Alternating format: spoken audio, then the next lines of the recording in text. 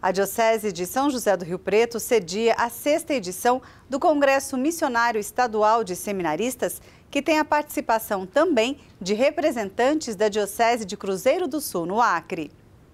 O Congresso Missionário, que acontece na paróquia Nossa Senhora do Carmo, em Mirassol, foi aberto com celebração eucarística, presidida por Dom Antônio Emílio Vilar, bispo de São José do Rio Preto, e concelebrada pelo padre Leonildo Monteiro, reitor do seminário na região amazônica. Durante o encontro, seminaristas vão oferecer testemunho missionário, entre eles Cauê Oliveira e Antônio Carlos, da Diocese Irmã de Cruzeiro do Sul, no Acre.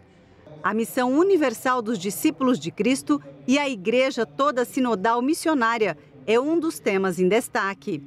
Conferências e painéis temáticos estão na programação do Congresso Missionário, que acontece até domingo, 30 de junho.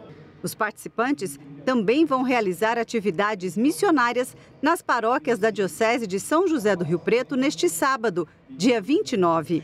A iniciativa tem apoio do Regional Sul 1 da CNBB, Organização dos Seminários e Institutos do Brasil, Comise, e as Pontifícias Obras Missionárias.